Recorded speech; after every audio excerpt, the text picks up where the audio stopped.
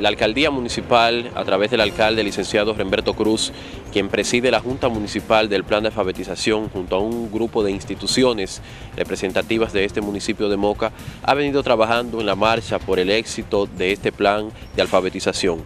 Y lo hemos hecho de manera muy activa. Eh, si te digo que ya a final de este mes de julio se van a estar ya eh, entregando los certificados al primer grupo de alfabetizando que se encuentran educándose en los diferentes núcleos que están diseminados a través del municipio de Moca.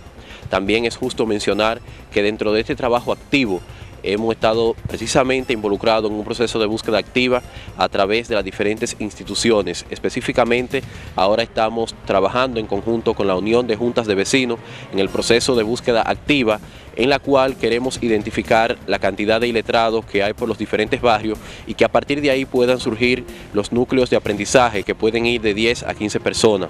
Dentro de este proceso también nos hemos encontrado con una iniciativa muy favorable que está promoviendo la oficina senatorial que es precisamente eh, un censo municipal dentro de la cual también nosotros podamos identificar la cantidad de iletrados que hay en el municipio de Moca.